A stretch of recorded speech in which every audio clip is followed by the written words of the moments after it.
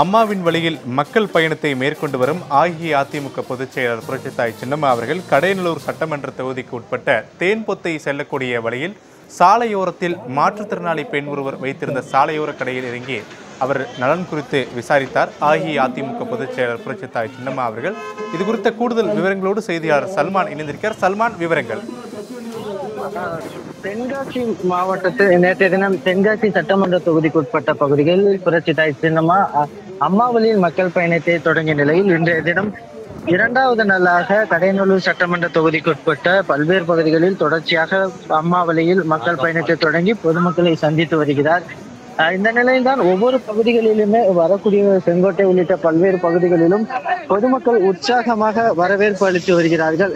இந்த நிலையில் தேன்பத்தை பகுதியில் வந்து கொண்டிருந்த புரட்சித்தா சின்னம்மா அவர்கள் வந்து கொண்டிருந்த பொழுது அந்த அந்த பகுதியில் மாற்றுத்திறனாளி நாகம்மாள் என்பவர் அஹ், வைத்திருந்த மண்பாண்ட பொருட்கள் விற்பனை இந்த கடையை வாகனத்திலிருந்து இறந்து சென்று நேரடியாக சந்தித்து தொழில் எப்படி செய்கிறீர்கள் என்பது குறித்தாக கேட்டு கேட்டறிந்தார்.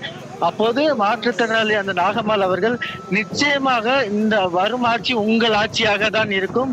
சின்னம்மா தலைமையிலான தான் ஆட்சி அமையும். அப்பொழுது எங்களுக்கு எல்லாருக்கும் நல்லது செய்வீர்கள் என மனதார சின்னம்மாவை புரட்சி சின்னம்மாவை பார்த்து அவர் வாழ்த்தி வரவேற்றார். அப்படியாக